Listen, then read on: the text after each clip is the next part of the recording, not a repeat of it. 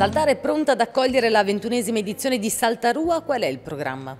Quattro uh, palchi musicali, come sempre, ci saranno tre eh, concerti in contemporanea. Sul palco, sulla scalinata, ci sarà una formazione molto internazionale, il Penabilli Social Club, quindi uno viene da Penabilli, un altro viene da Cuba e il terzo viene da Argentina. Gli altri concerti sono un trio di, con Frank Silvera, che è italo-americano, che ha girato il mondo per 50 anni. Eh, lui presenterà un programma di swing tipo Frank Sinatra.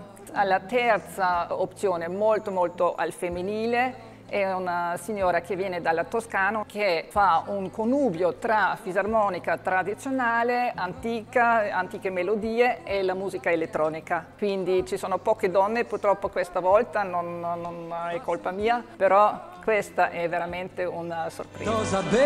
Sarà possibile mangiare, bere, di avere varie scelte tra menù, piadine, dolci, eh, caffè, birre artigianali, eh, la Proloco si è fornita e è pronta. L'evento comincia alle 19.30 ehm, con l'apertura delle stand e poi ci sarà anche una mostra nella galleria degli artisti, chiamiamo così il nostro mercato coperto medievale.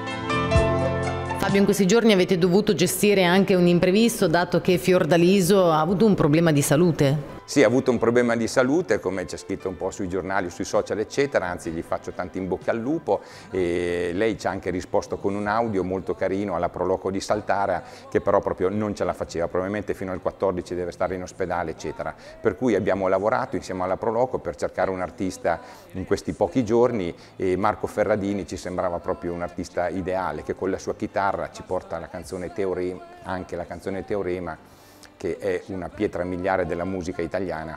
Inoltre ci sarà anche una band conosciuta. Sì, la band è conosciutissima, la Dino Gnassi Band, Dino Gnassi del Maurizio Costanzo Show, con dei fiati, insomma otto musicisti che fanno veramente qualsiasi genere musicale, in questo caso prevalentemente canzoni d'autore, italiane e anche internazionali. Oltre ad un altro noto personaggio locale? Sì, sì, mi danno il permesso di dirlo, anzi mi fa piacere, la Proloco di Saltara appunto che ci sarà come pianista anche Claudio Morosi, Claudio Morosi il finalista di The Voice Senior. A che ora inizia inizierà il concerto in piazza? Il concerto in piazza inizierà alle 10.15 circa, si prevede tantissima gente per cui è stata proprio organizzata una navetta che fa da spola tra Calcinelli, dove ci sarà il parcheggio, al Bocciodromo fino a Saltara.